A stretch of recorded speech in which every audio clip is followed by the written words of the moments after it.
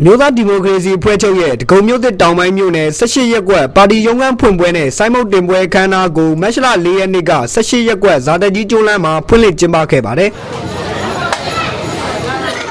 ဒီခမ်းနားကိုဒဂုံမြို့သစ်တောင်ပိုင်းမြို့နယ်မြို့သားဒီမိုကရေစီအဖွဲ့ချုပ်တဘာပတိဦးစိုးမြင့်နဲ့မြို့နယ်တာဝန်ခံဦးတောင်းမြင့်တို့ကဖဲကြိုးပြက်ဖွင့်လှစ်ပေးခဲ့ပြီးပြည်သူလူထုတရားခံတက်ရောက်ခဲ့ကြတာပါ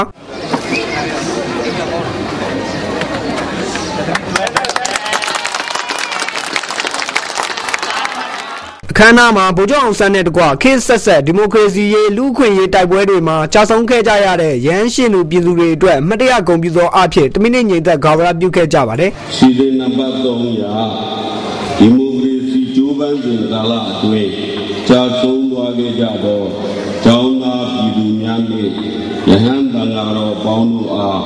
အမတ်တရဂုဏ်ပြုသောအဖြစ်တမီးနဲ့ငြိမ်သက်ခြင်းဖြစ်ပါလေ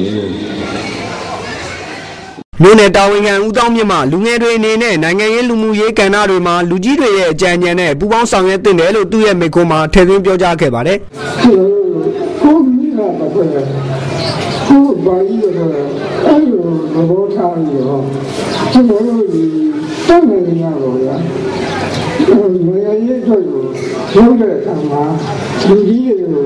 တစ်ပြန်အောင်တောင်းပြီးတော့လုပ်လို့ဆိုလို့လူငယ်ကအမှန်တမ်းကတိုးတက်သွား မှာဖြစ်လာတယ်။တကုံမျိုးသိမ်းမျိုးနယ်လူငယ်တာဝန်ခံကိုတီဟန်မှလည်းလူငယ်တွေအနေနဲ့ပြည်သူလူထုရဲ့အကျိုးကိုဆောင်ရွက်ပေးဖို့တိုက်တွန်းပြောကြားခဲ့ပါတယ်ကျွန်တော်ခေါင်းဆောင်ကိုယ်တိုင်ကလည်းဟိုနိုင်ငံတော်ကဘာလို့ဒီကျွန်တော်တို့ကဘာလို့ပေးလိုက်လဲဆိုတော့ဘာလို့ဒီကနိုင်ငံတော်တို့ကဘာလို့ပေးရမလဲဆိုတော့ဟိုလူလူမျိုးပဲသူကလိုချင်တာပါအဲကြောင့်လူငယ်အားလုံးကမှားနေပါတယ်ပေးလိုက်လို့ဆိုလူငယ်အားလုံးကဒီပတ်ဝန်းကျင်မှာရှိတဲ့ပြည်သူတွေရဲ့အကျိုးကိုတက်လိုက်ရင် ဒီဘောပြည်သူရဲ့အကျိုးဆောင်ရွက်ပေးဖို့အတွက်ကိုကျွန်တော်ကတိုက်တွန်းနေပါတယ်။ဒီခမ်းနားမှာမြို့သားဒီမိုကရေစီအဖွဲ့ချုပ်ဥက္ကဋ္ဌဒေါအောင်ဆန်းစုကြည်ရဲ့ပြည်သူ့သို့ပြန်ကြားချက်အမည်နဲ့အတန်သွင်းထားတဲ့မိန့်ခွန်းတိတ်ခွေကိုတက်ရောက်လာတဲ့ပိတ်သက်တွေကိုဖွင့်ပြခဲ့ပါတယ်အဲ့ဒီညတော့ကျမတို့တာဝန်ယူကြအောင်လို့ကြိုးစားခဲ့ပါတယ်။တာဝန်ကြအောင်ကြိုးစားခဲ့တယ်ဆိုတာအထက်မှာပြည်သူလူထုနဲ့ထိတွေ့မှုမပြတ်အောင်လို့ကျမတို့ကြိုးစားခဲ့ပါတယ်။ကြားပြရွေးကောက်ပွဲထဲမှာဝင်ရွေးလို့ကျမတို့ အကျဆုံးပြုတာဖြစ်ပါတယ်။။ညီကုန်းချုပ်အနေနဲ့တဘာပတိဦးစိုးမြင့်မှတက်ရောက်လာသူတွေကိုနိုင်ငံရေးလုပ်တဲ့အခါယူသားမှုရှိဖို့အရေးကြီးကြောင်းပြောဆိုခဲ့ပါတယ်အဲ့တော့ညာကျွန်တော်တို့အားလုံးအခုယောက်ျားမင်းကကလေးရောလူကြီးရောဗျာနိုင်ငံရေးလုပ်တဲ့နေရာမှာတော့ကျွန်တော်တို့ကဒုသားချမှတ်ဖို့ကိုချင်းတရားကောင်းမှုလို့